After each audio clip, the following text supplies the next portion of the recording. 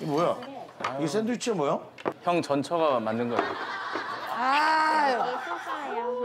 선생님 요즘 저 김밥은 하면서 주님 감사합니다. 잘 먹겠습니다. 먹, 잘 먹겠습니다. 먹고 건강해서 최선을 다해서 일할 수 있는 힘을 허락하여 주옵소서. 예수님 이름 받들어 잠시기도 하였나이다. 맛있게 드세요. 그 양치승 관장이 만든 떡볶이에요. 선생님 한번 드셔보세요. 어, 긴장돼요. 긴장돼요. 선생님 또 한, 한식 전문이시니까. 그래도 어떻게 운동이나 하던 사람이 네. 맛있어요? 맛을 내려고 애를 넣었는데 그래서 생각보다 괜찮다. 괜찮아요. 맛있죠? 짜장은 좀 어떠십니까? 이건 애들이 좋아하겠어.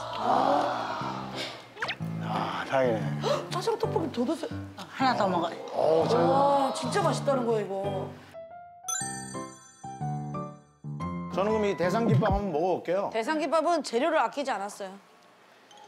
한 번 먹어봐. 놀래지 마라. 지금 다 재주문 들어왔다. 재주문 들어왔어. 괜찮아. 무슨 표정이야? 아니, 그러니까 맛있어, 맛있어. 무슨 표정이야? 맛있어. 김숙이 하는 거라면 뭐든지 괜찮지. 아 저렇게 티를 내. 좋아하는 티를 낸다니까요 저렇게.